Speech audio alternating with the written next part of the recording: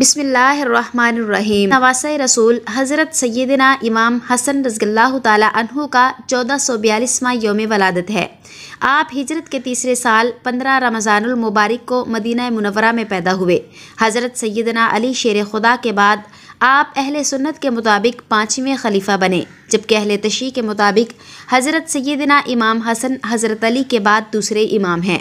हज़रत फ़ातमतुज़हरा सलामुल्लाह के बड़े बेटे और हज़रत मोहम्मद अलैहि वसल्लम और हज़रत खुदीजा के बड़े नवासे हैं। हज़रत सैदना हसन मुजतबा ऐसे घराने में पैदा हुए, जो वही और फरिश्तों के नाजिल होने की जगह थी। वही घराना के जिसकी पाकी के बारे में कुरान पाक ने गवाही दी है। बस अल्लाह का इरादा ये है, ए अहले बैत, कि तुमसे हर बुराई को दूर रखे और हर तरह पाको पाकिज़ा रखे। जिस तरह पाको पाकिज़ा रखने का हक है। हज़रत सैदा तैयबा ताहिरा चूँकि हैस नफास से भी पाक थी, इसलिए इन्हें हज़रत सैदना हसन की पैदाइश के बाद बिल्कुल नफास ना आया। तो ये बात हर तरफ़ मशहूर हो गई। मदीने की तमाम दाइयाँ भी हैरान रह गई। नाजरीन ग्रामी, यहाँ आपको मसला समझाते चलें कि बच्चा पैदा होने के बाद औरत के रहम से जो खून आता है, उसको नफास कहते हैं। नफास की हालत में औरत के लिए नमाज़, रोज़ा और कुरान करीम की तलावत करना या छूना जायज़ नहीं होता। अलबत् पाक होने के बाद फ़र्ज़ रोज़ों की कज़ा लाजम होगी और इन अयाम की नमाज़ें औरत के लिए बिल्कुल मुआफ़ हैं। इनकी कज़ा भी लाजम नहीं होगी। नफास की ज़्यादा से ज़्यादा मुद्दत चालीस दिन है और कम से कम मुद्दत की कोई हद नहीं। अगर किसी को एक आध खड़ी खून आकर बंद हो जाए तो वो भी नफास है। लिहाजा अगर किसी औरत को बच्चे की वलादत के बाद चालीस दिन के अंदर अंदर खून आए तो वह नफास का है। और चालीस दिन के अंदर अंदर खून आना बंद हो जाए तो वह पाक समझी जाएगी। चालीस दिन के सवा महीना तक नापाक शुमार नहीं होगी और चालीस दिन से बढ़ जाए तो अगर उसका पहला बच्चा है तो चालीस दिन नफास का खून होगा और उसके बाद आने वाला खून बीमारी का होगा। इसमें नमाज़ वगैरह पढ़नी होगी और अगर इसका पहले से कोई बच्चा है तो उसके जितने दिन खून आने की आदत है इतने दिन का खून नफास का शुमार होगा और बाकी बीमारी का खून शुमार होगा। अलबत् इन नफास के अयाम में ख्वा व चालीस दिन हो या इससे कम, औरत के लिए गसल करना शरण मना नहीं, बल्कि वह ठंडक वगैरह हासिल करने के लिए गसल कर सकती है। हाँ अगर तिबी तौर पर नुकसानदेह हो तो मॉलिज के मशवरे पर अमल करना चाहिए। नाजरीन ग्रामी इस पैदाइश के बाद लोगों में हज़रत सैदा फ़ातिमा का लकब ताहिरा मशहूर हुआ। पैगंबर इस्लाम अलैहि वसल्लम ने एक हदीस के ज़रिए अपने नूर चश्म हज़रत हसन की फजीलत यूँ बयान फरमाई कि, हसन मेरा फ़र्जंद है और मेरा नूर चश्म है। मेरे दिल का सुरूर और मेरा समरा है। वह बहशत के जवानों का सरदार है। उसका हुक्म मेरा हुक्म है, उसकी बात मेरी बात है। जिसने उसकी पैरवी की, उसने मेरी पैरवी की। जिसने उसकी मुखालफत की, उसने मेरी मुखालफत की। मैं जब उसकी तरफ़ देखता हूँ तो मेरे बात उसे कैसे कमज़ोर करेंगे? मैं इस याद में खो जाता हूँ, जबकि ये इसी हालत में अपनी ज़िम्मेदारी निभाता रहेगा, जब तक कि इसे सितमों दुश्मनी से जहर देकर शहीद किया जाएगा। हज़रत मोहम्मद सल्लल्लाहु अलैहि वसल्लम ने उनका नाम हसन रखा था। यह नाम उससे पहले किसी का ना था। रसूल खुदा सल्लल्लाहु अलैहि वसल्लम उनसे बेपनाह मोहब्बत करते थे। उनका नाम हसन, लकब मुशतबा और कुनियत अबू मोहम्मद थी। रसूल खुदा सल्लल्लाहु अलैहि वसल्लम के घर में आपकी पैदाइश अपनी नोयत की पहली खुशी थी। जब मक्का मुकरमा में रसूल अलैहि वसल्लम के बेटे यके बाद दीगरे दुनिया से जाते रहे तो मुशरकिन ताना देने लगे। आपको बहुत बड़ा सदमा पहुँचा। आपकी तसल्ली के लिए कुरान मजीद में सूरह कौसर नाजिल हुई, जिसमें आपको खुशखबरी अता कर दी गई कि खुदा ने आपको कसरत औलाद अता फरमाई है और मकतू नस्ल आप नहीं, बल्कि आपका दुश्मन है। आपकी वलादत से पहले हज़रत उम्मुल फ़ज़ल रज़ी तहा ने ख्वाब देखा कि रसूल पाक अलैहि वसल्लम के जिस्म का एक टुकड़ा उनके घर आ गया है।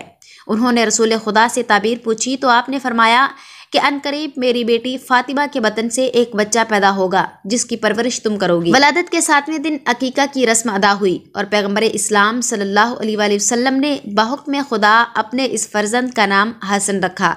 यह नाम इस्लाम के ज़माने से पहले नहीं हुआ करता था। सबसे पहले रसूलुल्लाह के बड़े नवासे का नाम करार पाया। आपकी वलादत के बाद आपके नाना हज़रत मोहम्मद सल्लल्लाहु अलैहि वसल्लम ने दुआ फरमाई कि, ए अल्लाह, इसे और उसकी औलाद को अपनी पनाह में रखना। हज़रत इमाम हसन को तकरीबन आठ बरस अपने नाना रसूलुल्लाह सल्लल्लाहु अलैहि वसल्लम के साया आतफत में रहने का मौका मिला। रिसालत में आप सल्लल्लाहु अलैहि वसल्लम अपने इस नवासे से जितनी मोहब्बत फरमाते थे, इसके वाक़ात देखने वालों ने हमेशा याद रखे। अक्सर मोहब्बत और फजीलत की हदीसें हसन और हुसैन दोनों साहबजादों के लिए मुश्तरक तौर पर बयान की गई हैं। मसलन हसन और हुसैन जवानान बहशत के सरदार हैं। खुदावंद मैं इन दोनों से मोहब्बत रखता हूँ, तू भी इनको महबूब रखना। और इसी तरह के बेशुमार अरशादात पैगंबर के दोनों नवासों के बारे में कसरत से हैं। इसके अलावा उनकी एक खसूसियत ये थी कि आम कायदा ये है कि औलाद की नस्बत बाप की जानब होती है।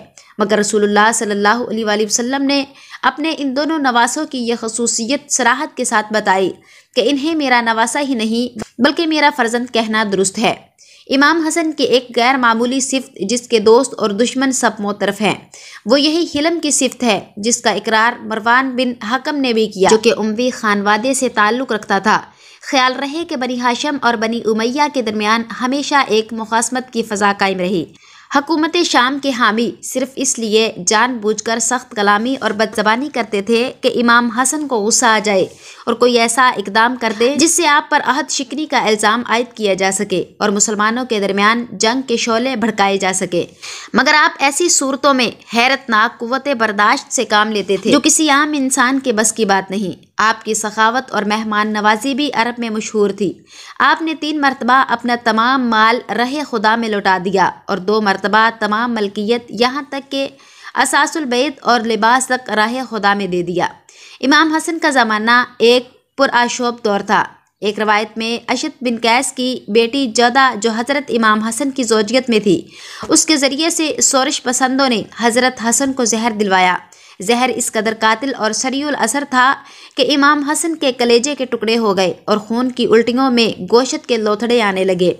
ऐसे वक्त में जब इमाम ने जान लिया कि अब उनका वक़्त रुख्सत आन पहुँचा है तो आपने अपने भाई हज़रत इमाम हुसैन रजगल्ला तु को पास बुलाया और इसरार इमामत और अहल बैत उनके सपुर्द करते हुए वसीयत की।